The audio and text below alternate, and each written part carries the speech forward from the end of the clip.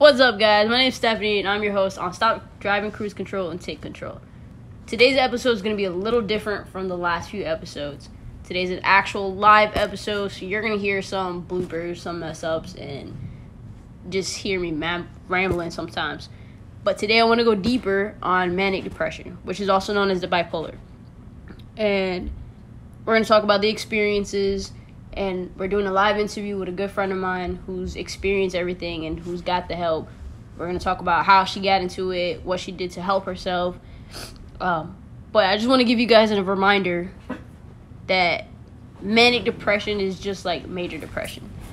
And they experience things like despondency, the difficulty sleeping or sleeping too much, the lack of energy, the fatigue, loss of appetite or overeating, unexplained aches and pains, loss of, ap- of interest in pleasurable things, lack of concentration, memory problems, inability to make decisions, feeling worthless or hopeless, worry, anxiety, death or self harm thoughts.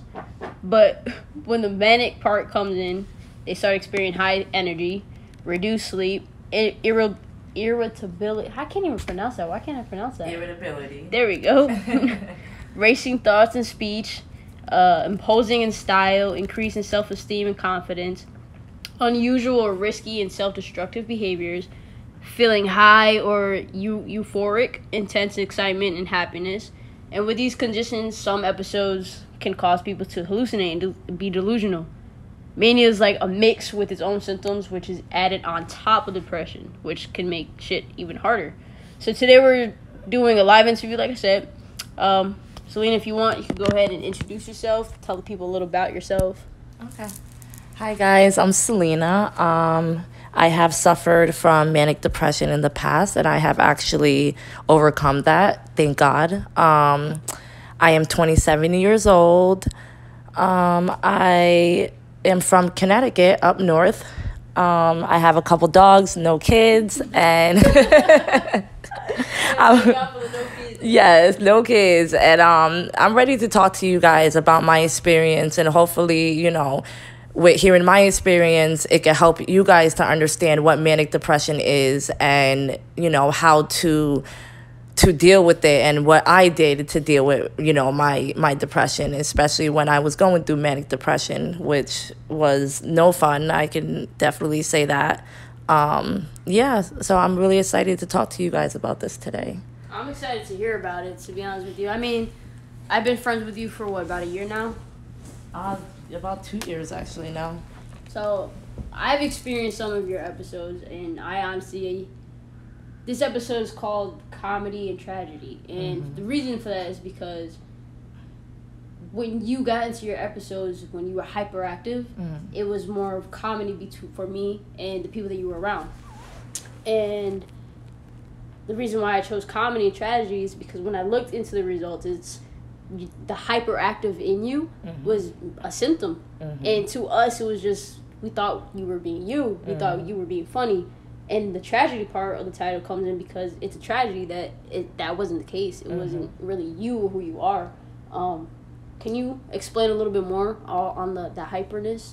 Okay, so well, let me first start by saying that um, when I first met Steph, um, I had just moved to Florida, so she kind of only got you know what she saw at that moment. So we hung out a lot, and um, this was when I was going through my manic depression when I you know first moved here, um, about two years ago, and I I didn't know what was going on with me. Like I, I had no idea what you know, I knew that this wasn't me, but not everybody else didn't know that this wasn't me. You know, everybody just thought, okay, this is how she is. And I'm, you know, even as I'm going through it, I'm explaining to people like this is not me, this is not me. Like, you know, I had episodes where I would I would like to put on different color wigs and I would like to, you know, when I put these different color wigs on, I would act like completely different people. Like I had names, like you know, my blonde hair was Heather, and she would act feisty. I remember when I first met Heather. when Heather came, I came out the room and I said, "Hey guys, I'm Heather,"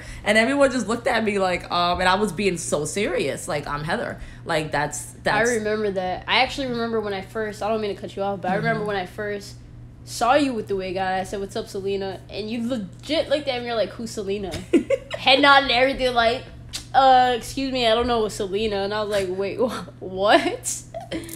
I Can would you go to- explain that to me? I would go to work with the blonde hair, and I'm a server. So the people in the kitchen, when I had my blonde hair, they'd be like, "Heather, your food's out," because I would tell them, like, "No, like my name is not Selena, my name is Heather." And they respected that, and um, but I was so serious. Like it literally, I felt like you know, if I was going through, you know, when the sadness would start to hit because I it would be all different. You know, some some days, some weeks would be you know sadness, and then other weeks would be complete happiness, and then other weeks would be anger. So it, it's you know when that sadness came, I used to want to bring out Heather because you know Heather was secure, like she didn't have any insecurities. You know, she was feisty. She put her foot down. She didn't let people walk all over her. And then I had Joey. Joey was the little boy. So Heather, I'm sorry, mm-hmm. Heather was like your defense mechanism, Yes. pretty much. Mhm. So whenever you feeling down, like with me, I had definitely suffered from major depression. Mm-hmm. So when I felt down, I just went to my room mm-hmm. and stayed in my room locked up. So I guess that that, that part of you that was locked up, that was Selena who was Yeah. locked up, and you brought up a whole new personality, a whole new person to to cover up your sadness, pretty much, Yeah. right? and mind you like i'm not this has this wasn't part of me like it you know all my life like this is something that just kind of just came out of nowhere like and i was kind of How confused old were you when that. you had your first uh, episode? i was this started probably like when i was 24 Oh, so it's it's recently yeah this had you know when i was younger younger like i had anxiety. I feel like when you hit a certain age um you start to go through certain things and you know it, you when it comes to, to disorders like this it could come at any age. You know it's not like okay you know some people literally could just pop out and, and it's And just start yeah it, it could all have to do with certain things that you're going through in your life and how you know you deal with that and i think in in my way my best way to deal with it was to you know bring out these different personalities that i would look like a completely different person like i wouldn't even look like the same yeah, person I remember that. and um, then I would have my hyper, what she, you know, what Steph said earlier. I would have my hyper moments where I would, it, like talking about it now is embarrassing because, like, mind you, I, I, I don't like I know now, but when I was going through it, I had no idea what was going on with me. Now that I'm out of it, I understand it, and um, so I would make these weird noises like mm, ah ah, just like, just like, like, that. Wild Thornberry. Yes, much, like just boy. mhm, just randomly, and I'm like, oh, everybody look, and I'm like, oh, sorry, Joey came out. Like Joey was the 11 year old boy who, like, you know, just liked to like. I would laugh. I would, yo, I had so much. First of all, I don't know where the energy came from, but I would just have this energy that just was like nonstop. Like I would off just the walls. just just talk and just laugh and just joke and just jump around. And it wasn't real happiness you know? And the way people will look at it is like wow she's a really hyper person. And i'm just like I, i'm really not. Like i don't you know get this. And then there would be times when i would get out of that stage and i would be like all right well now i want to be in my room because i don't want to be around anybody. Mm-hmm. And i would just isolate myself from everybody. So it was really hard to keep friends because a lot of people didn't understand that you know how i would be like so involved and around all the time and then out of nowhere i would just disappear. And people would think okay maybe i'm mad at them when in all actuality i'm just in my room not talking to anybody. I don't even want to open up my phone you know? So it's it, it has stages and um And that's basically where the major depression comes in. Mhm. Because, like I said, um, doing the research on manic depression, it's it's a mixture of both, Mm-hmm. where you have manic and then you have the depression, and that's where mhm. the depression part comes. Yeah, and it's also all about too. Well, yeah, it starts with the depression, and um, if you don't treat that, then it could further go into you know manic basically, and you know, like I said, so you know, me and Steph, we actually like fell off for a little bit, and I would say for a couple months, and then when she came back into my life, I was a completely different person. Huge difference. I uh, huge difference to the point where I saw another wig on her and she was still Selena. I had to put a wig on, and she's like, "Who's this?" And I'm like, "What do you mean? This is Selena." Like, and she's like, "Oh, okay." Like, and it, you know, I was better. I I was a lot better. And, And what what what procedures did you take? Like what what made what what put you to the last straw to make you be like, listen, you know what, Selena, it's time for me to get my stuff together we need to change. We need to do something about this. What what was that last straw? My last straw was okay, so I had insomnia, mm-hmm. anxiety, and depression. My last straw was when the sleep, I would say no sleep for about four or five months really was my last Jesus. straw. And um I started to look, you know, look for certain um you know to buy buy certain drugs for people to help me sleep you know? I would ask my friend hey could i have a xanax? Like i need i need to sleep. Like Yeah. and i you know though that's the that was random. It wasn't like i i was able to get them all the time. So what i did get is xanax i was happy i was able to sleep. So finally you know though that that ends up not lasting so you start the sleep started to really hit me not getting any sleep and when that started to hit me it the manic became more like I had a mental breakdown. So I let it get so far mm-hmm. without looking for help, without seeking for help, without even accepting that I needed help. And when that breakdown came, I I realized at that moment that I need to help myself. This is not this is not working for me anymore. I cannot live my life like this. I can't. And um you know, I, I seeked help. I seeked help. So yeah, I seeked help and um you know, I'll be completely honest about what I did. Um when I had my mental breakdown, I seeked out a therapist and a psychiatrist. Um I started to speak to a therapist. I didn't want to just do the psychiatrist because I felt like, okay, yeah, I could go on medication, but going on medication and not actually solving the problem at the same time is kind of pointless, you know? So I decided, okay, let me get on the medication so I could start talking to a therapist and I could start to, you know, work on my problems and that's not the only thing I did. I also, you know, so I got a, um, a very, very mild antidepressant that I take at night, and um, it helps me sleep, and it does help, you know, with the depression that I have. And I also um, take anxiety medication, and I, from the I it, it started to make me realize that the anxiety is what to what started to become the root of everything. The anxiety was so bad, and it was the first thing I had was anxiety. And when I let the sucks. it and that's like the gateway to everything. It's the gate. It literally started with the anxiety because I did not treat the anxiety, and I continued on letting this anxiety take over my life. Mm-hmm. It turned into depression because now you know the anxiety was getting so bad that I, I you know, now I I'm depressed, and then it turned. When you have anxiety, you automatically have insomnia. Why? Because when you have anxiety, how could you sleep if you were Your going through are going a million miles per hour. the whole night it was my anxiety was so bad that i had scars on my stomach from how tightly i was holding my breath all day Wow. long. Every all day long all day long i held my breath all day. It was so bad. Like i couldn't do anything because the anxiety was so horrible. Like i said that that started to become even more. So once i i was able to treat the anxiety a lot of the stuff started to fade away. So i feel like you know you might feel like a lot of, like I said, a lot of these issues start off with one thing. And if you don't treat that one thing, it starts to open up other things. So, you know, that anxiety started to open up all of the the manic depression, you know, by not treating it, by not sleeping, by sitting there having anxiety for a year straight and not doing anything about it. Anxiety does like not go away. It do, yeah, it doesn't go away. Because once you once your body gets used to taking one drug and the high doesn't do anything for your body Mm-hmm. Yeah. anymore, you look for another drug with a higher substance, like, and you just keep on and on, and now you're Mm-hmm. deep in and you're at it. Yes. You know? Exactly. So- And that's exactly how it, it literally just kept getting worse. And all my life, I always went by, okay, well, if I just wait it out, it'll get better. It'll heal. And it's always that's always worked for me where if I just waited it out, it got better. Not this. This is the one thing in my life that it did not get better.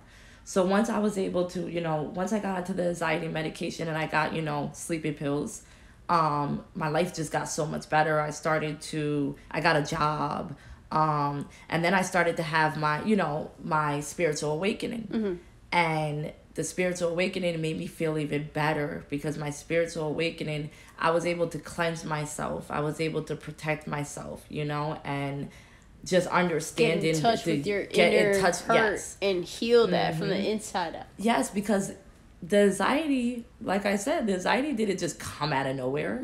Like it comes from trauma. yes, It comes from trauma. mhm. It and trauma stems from it could be from when you were young or it could be something that was very traumatic when you were at an older age. Yes. Even though you're understanding more of life because you're older, also trauma happens and you still you feel like a child in the head Mm-hmm. because you don't know how to deal with it. And then you sweep it on the rug and just let it go until the next, till the next. Well, the that's next. what happened to me. Um, I had a lot of trauma as a kid, and I kept it all in. Mm-hmm. And then, what really triggered it all to happen was, um, my best friend committed suicide about a year ago, and this is, I think that was just a breaking point. Like once that happened, everything started coming back up. It wasn't, you know, I would try to go to sleep. I had racing thoughts about my childhood, about the bad things that happened to me, about the things that my dad did to me, about, you know, my best friend and her death and how she's gone and all these racing thoughts. And I feel like, you know, when you bottle everything up, yeah, you'll be fine.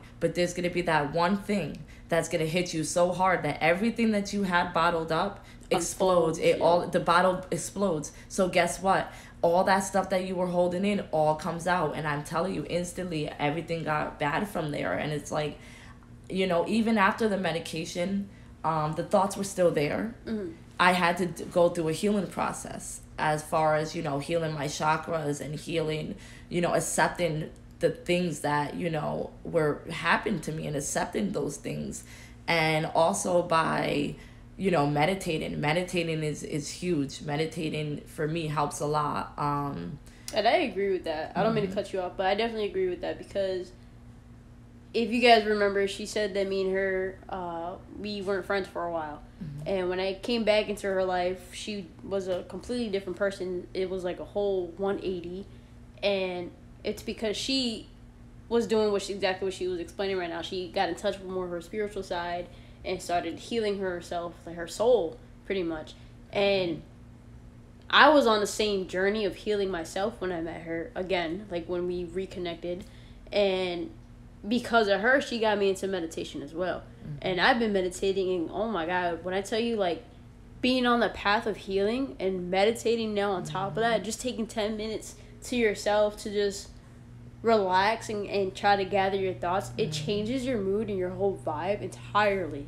So I want to Yeah. thank you for that, for introducing Oh, me to yes, that and, you're and, welcome. and opened up my eyes to that. So Mhm. It it literally a lot of people don't understand, but by energies, it doesn't matter what medication you're on. You know what I mean? Like when I would go through being around certain people whose energy was very bad, I would anxiety will come right back regardless of what I was on. You know, I could be in the grocery store to see a, a person that has really bad energy and I would have anxiety instantly. Um, also being around certain people. Certain people are not good for us in our lives and we know who those people are deep down, but we try so hard to hold on to these people and we don't understand that a lot of the mental things we go through also has to do with the people we have around us Yes. we feed off of other people's energy. So if somebody's energy is bad, for example, when I was going through what I was going through, the energy that was fed off of me was not good energy. Like people, you know, they said, okay, well, she's so hyper and, and looks so happy, but her energy doesn't feel like that.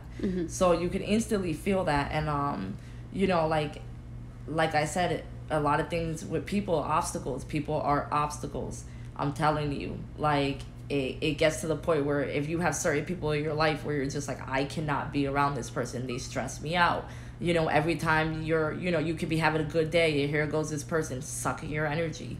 Like, it, mm-hmm. it all starts with changing the people in your life changing the people in your life removing negative people from within your life. That's that's huge um, I can't press the fact of meditation, clearing your mind. When you meditate, you're not supposed to think about anything. Shut your mind off. And it's hard at first, but it's, it really pays off. Even with Steph, when I first explained medica- uh, medication, when I first explained meditation to Steph, she's like, okay, well, am I, I'm not supposed to think about anything? And I said, no. And she that looked- had me so confused. she looked at me like, "Wait, how am I supposed to shut my brain off?" And I explained to her, "Listen, it's it's something that you could, could you know, you you tend to be able to control your mind in due time. So start off with five seconds of meditation and the next time you do it do 10 seconds and the next time and it's you do so it much easier too when you have like so if you go on youtube there's meditation guides Yes. and if you start off with like you know um, 10 minute meditation beginners there's somebody who's walking you through it so they'll sit there and be like okay sit down relax take deep breaths in and that hearing like instructions on how to learn how to meditate while you're meditating Mm-hmm. it's really good because you don't think about what's Yeah. on your mind you're you're listening yes versus letting your thoughts wander Yeah. you know and then once you get to that comfortable spot where you're just like all right i think i can do this on my own and then you actually meditate with just the music Mm-hmm. the soothing sounds in the background it's like it's mind boggling yes, how your mind just stays feeling. it's like yeah it's like trying to stay Mhm. quiet now Yeah. you know And if you're meditating outside, like when I like to meditate outside, um, I like to, you know, clear my mind and I like to listen to the birds chirping. I like to listen to, you know, the the wind, the breeze, the trees, the the leaves. I like to listen to all of that. And um, you know, it's all about what you focus your mind on. And to not focus your mind on your everyday thoughts. It's kind of like giving your mind a break from thinking because we think nonstop every day, Mm-hmm. 24 hours every second of the day we are thinking our minds we just gotta learn to turn that switch off even when we're the sleeping Yeah. we're still exactly. Thinking. it's our subconscious at that point. So that's why meditation is so important because just like she just said it's kind of shutting your brain off and giving it a second to just relax to just chill you know? And and like i said once the meditation you could start you know every time you're gonna do anything that has to do with healing i would definitely meditate. And when you want to heal things you can't just cover them up you know? You have to bring them to the surface and understand that these things cannot be hidden anymore. So how I would explain it when everybody asked me, okay, like what did you finally do when you had to face your problems? Mm-hmm. And I said, honestly, I got up, I turned around, and instead I've been running from my issues for my whole life. Running, running, running, running. Never want to face it, running. I finally stopped, I turned around, and I walked towards my issues. I walked towards them. It felt like it was a big closet of a whole, not even a closet, a, a hoarding house of a whole bunch of junk that I had to literally for months go through and just sort it out one thing at a time and resolve the issue one thing at a time. It's all about coming to peace with something, understanding, yes, this person did this to you. It happened. It's done. accept everything and expect it. nothing Exactly. Exactly. And that's really what it's about. Like you have to really just heal one thing at a time and, and understand that it's not it's gonna take time. It's gonna take time. Um you know, I like to ask my me personally, I'm very spiritual. I like to ask my ancestors for help. Um like when I had my breakdown, I called upon my ancestors. I said, "Listen, I you guys see what I'm going through and I need your help. I cannot be like this anymore. Um like literally like it's just breakdown. Like I cannot cry and I cannot be like this anymore. Um and my ancestors, you know, they guided me through exactly what I need to do. This was a couple months ago. I would say 4 months ago I was going through really bad shit and now I just got a new car. I just got a new apartment. I opened up my own online business. I got a job, nine to five. Like, I went from doing absolutely nothing, sitting in the house, depressed, looking at the walls, not wanting to leave, to literally just remodeling my whole life completely. And I literally got rid of all the bad. I, li- I got rid of all the negative people that were in my life. Completely got rid of them, completely cut them off. And see, that's where I'm sorry, I don't mean to cut you off, but that hearing you say you can get rid of the negative people, Mm-hmm. that is such an amazing thing to do because being around that negative energy does feed more negative thoughts to Yeah. you. And the only thing is, is when you're trying to better yourself, Mm-hmm. you have to accept everything and expect nothing. And I mean that so much because when you are getting rid of that negative people and you think about it, you're in this depression because you surround yourself with everybody who's negative. So you're literally restarting with a friendship. Yeah. You have nobody. So you already felt lonely when you had these friends, so now mm-hmm. you're gonna feel lonelier. Yeah. You know, and it's you But- have to have that strength to keep pushing through if you want that. But you know what? In order for you to heal, nobody else can heal you. Facts. You have to heal yourself alone. Exactly. And that is I listen, a lot of people might not agree with that. But I will tell you from my personal experience, having people around does not help because now you're getting opinions from other people that do not Exactly. understand what you're going through. and then having overthinking issues on top of the depression, it just makes you Is- be like, oh my mhm. god, well this person said that I shouldn't do this, but this person yes, said I should. and that's so what, what, ends up happening is everybody has their own opinion, And and, now that you don't. anxiety yes. in. It's just best to just take a break from everybody. Like I said, and in order to heal other people, in order to help other people, you have to heal and help yourself. Mm-hmm. In order to attract people to you, like honestly, before a couple months ago, like probably like six, seven months ago, nobody was attracted to me. I was damaged. I was, you know, I was damaged. I everybody's seen it, regardless of how much I try to hide it. It was out there. Everybody's seen it.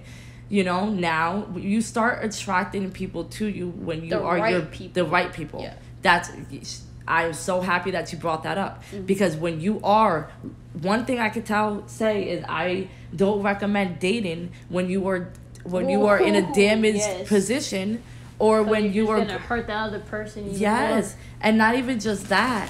You're attracting people that are No basically feeded you. off Yeah. of your damaged soul. They're they're feeded off of your misery. They they're feeded off of what you're going through, and you know th- these people are not.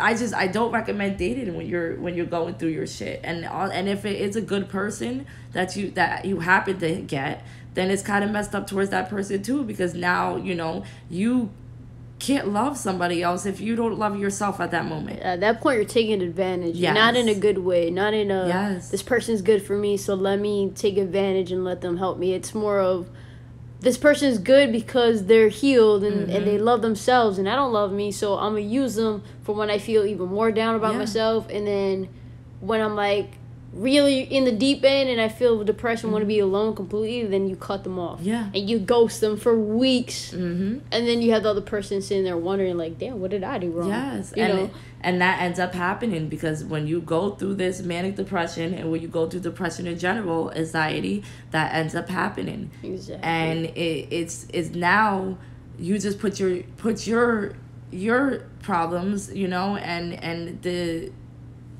what you're going through onto somebody else if that makes sense now that person was happy Mm-hmm. Hurt they were people hurt healed people. yes and now now somebody's hurt the way you were hurt and it's just kind of like it's just not fair at the, a end of the day damaging cycle. yes you should definitely wait to date yeah. until you completely are healed yourself. Trust me, it would be way better. Like, you know, you could mess up something with a good person that, you know, should it have been good if you would have just waited for the right time. The right person will come to you at the right time. Exactly. And not only that, a lot of people like myself when I was depressed, I I dated a lot. And I would always my relationships would last between 2 to 2 to 5 months. 5 mm-hmm. months is, is overdoing it cuz sometimes I wouldn't even hit that. and then 3 weeks later you see me with a new broad. And that's because I lacked love within myself and I also searched for somebody to just show me any type of attention, even if it was for five minutes, and then they'll treat me like complete garbage. Like after that, for months and weeks, and ghost me, and then come back. I will allow that because I didn't allow my, I didn't love myself, Mm-hmm. and that just makes it worse for you. You know, and I just, I don't know. Me hopping from people to people, it made me realize like. You're never gonna be stable with a person until you love yourself. Yes, exactly. and that's the biggest thing is like if you think about it i feel like depressed people when they're ready well not ready but when when they're not so in their heads or when they're tired of being in their heads and they look for another body to mm-hmm. turn to mm-hmm. they're so giving and they put that person on a pedestal mm-hmm. until they're like lost in their head again and it's like people Yeah, no, seek screw you. comfort. When when we're when we're going through you know our depression and our manic episodes we seek comfort in others. Mm-hmm. And it's because you know we don't want to be alone. Exactly a lot of us fear to be alone. And it's like okay once you do get over that fear of being alone I used to not want to be alone. I used to always have roommates, always I let people move that. in. Now I don't want nobody moving in. I don't want, you know, I if like you know you could come over when I invite you over. I like my space. I like to be at home alone.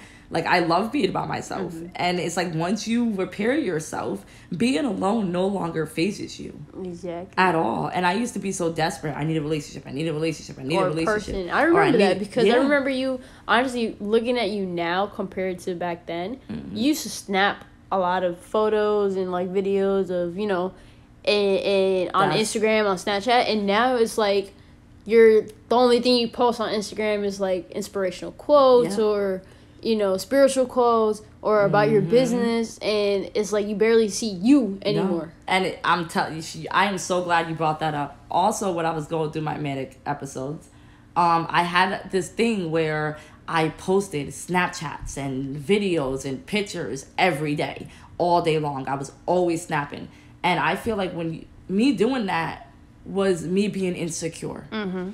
It was a huge insecurity.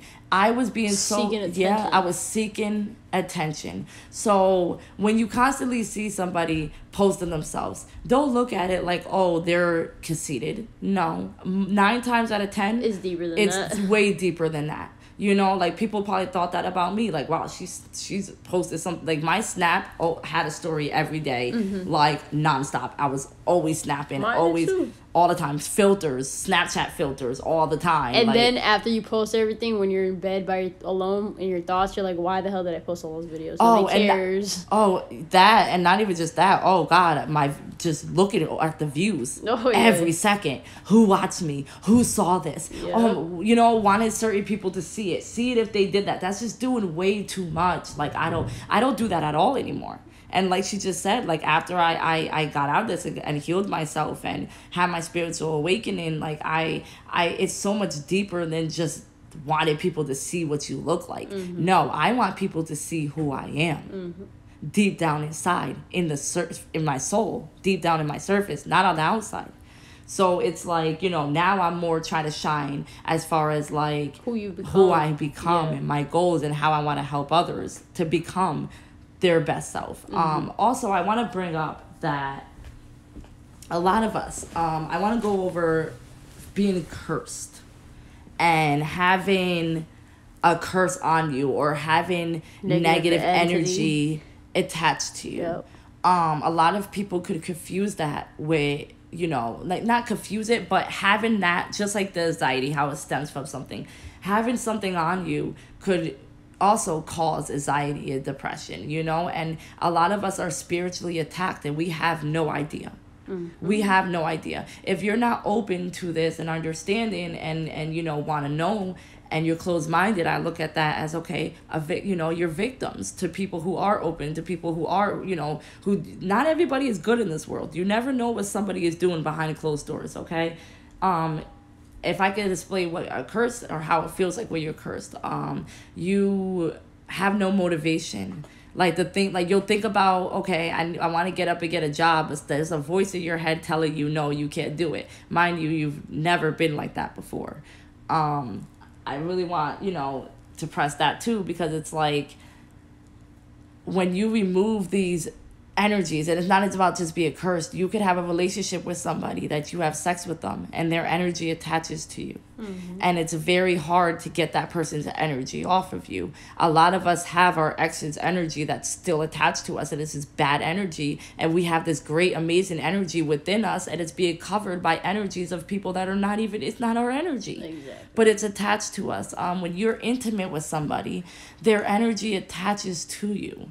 Okay, so if it's a bad energy, guess what? Now you're carrying that around with you. So it's a very important to cleanse your energy, cleanse your soul, cleanse yourself. Um, after cleansing yourself, protect yourself from anything being sent your way. Like I said, you never know what somebody is doing behind closed doors. You never know. Um, So basically, what's helped you out a lot is, is becoming spiritual. becoming spiritual that honestly um speaking to my ancestors um i manifested my business. I manifested you know my life becoming better. I manifested all of this okay? I manifested all of this. And it all just came together like It took a great turn it, for you. it did it did. Um i was really at the bottom. I had no money. I had i couldn't pay my rent. Um i couldn't even eat. Like when i opened up my business my online business i had to pay for the website to be published and um i had $200 and i didn't know how much it was going to be for the website I know it was like 150 and I didn't know if it was going to be extra money. So I didn't eat for 2 days while I made all my candles to take pictures of. Um, my kitchen, the light was broke. Um, I couldn't afford any light bulbs. I sat there with my flashlight on my phone pouring candles, um, making candles in the dark, like and now I see you in a beautiful two bedroom apartment and everything's going well for you. You just Mhm. moved in. You're getting brand new furniture. You're everything's going well for you. everything's going and. I've I- I witnessed all that. yeah. you know and i'm honestly i'm glad to sit here and not only be your friend and have such a beautiful soul as you Oh. uh, blah, a beautiful soul like you as a friend Oh. but i'm also proud of you for taking that step Yes, thank you. i'm very very proud of you very happy that you were just like i'm not gonna let depression defeat me Nope. i'm not gonna let this manic defeat me i'm gonna Mhm. defeat it yeah. And I did it so quick. she took I did it so quick. she pressed that button off cruise control and she Yeah. put her pedal on the on the skirt gas pedal I and she took control. there's a um there's a Jhené Aiko song and she says that um she she basically so, something about her turning her car around like she she got back on the right road. Mm-hmm. I feel like I was on the wrong track. Like I was downhill. If you asked me last year if I ever in my life thought I would be where I was at right now, I I would never think ever. I would I, in my mind I was always going to be have I was always going to have this anxiety. I was always going to have this depression. I was always going to be like this. And that's what was in my mind. I felt like it was never going to end. I felt like this was my life. And it wasn't. And it's and that's why I'm, I I am so happy to be able to talk to you know about this to you guys because when you're in it you feel like there's no getting out of it No, You you, know, feel entirely alone. yeah, and a lot of us we we turn to drugs. We Mm-hmm. turn to drugs because we can't handle it anymore and we don't want to feel like that and even i've turned to drugs you know i've went to perks i've went to things you know that i've overcome and it's the drugs are just temporary. I want you guys to know that. It's not uh, all of it is all of it. it's not uh, you know it's be yes all of it is temporary. You know taking the drugs temporary trying to fix it that temporary. It's all temporary. We have control over our own minds. Remember, guys, you are not your thoughts. You are your actions. yes. You could easily turn your car around and get back on the right road easily it's just you it's all about having just getting out of that mindset of we can't do it Exactly. Because you can. you can You can. And that's exactly why I made this podcast. Mm-hmm. Because and I'm which I'm I very felt- proud of you for. I don't mean to interrupt you, but I am so proud of Steph for doing this because Steph has always been a motivational speaker. always. Like I would always go to Steph and I will always go to her for her, you know, to give me some words, give me some words of wisdom and, you know, help me with certain things. And she always had the right things to say. She always you. knew I what to say appreciate and how to say it. So this is an amazing thing that you're doing and I really you. do salute you for this and you're doing amazing at it and I know that she deep down wants to help people. That's what she deep down wants to do. that's my main goal here. And that's exactly why I did all this and, and made the podcast. Because when I was depressed, I, I felt entirely alone. You know, Mm-hmm. I had my mom and dad, and you know, gratefully I had my mom and dad because not too many people could sit here and say that they have their mom and dad to turn to. Mm-hmm. And we didn't have the best relationships, but once I started working on me, our relationship became a lot better, and I started realizing they they emotionally is they're they're a great support system, and that's what you guys got to realize is that you're not alone, and we push people who care about us so much, who check up on us so much, we push them away because we're afraid to understand and accept the fact that we're not alone. That there are people out there that want to help us. Mm-hmm. So, with that being said, this is gonna be the end of the podcast. Thank you guys so much for listening. Thank you, Selena, for being a part of this. You're welcome. Next- Thank you for having me, guys. Yes, thank you for sharing your experiences. Um, if you guys have any questions, you are more than welcome to email me at strengtheningwithsteph at gmail.com or you can follow me on Instagram, strengthening with Steph, and DM me there. If you're looking for a more spiritual guide or if you're interested in, you know, getting some spiritual healing, you can go ahead and follow Selena at, go ahead and tell her your Instagram. Uh, Light and Love by Lena. Um, and my website is www.lightandlovebylena.com. Awesome, guys. Thank you for listening. Have a great day. Good night, guys.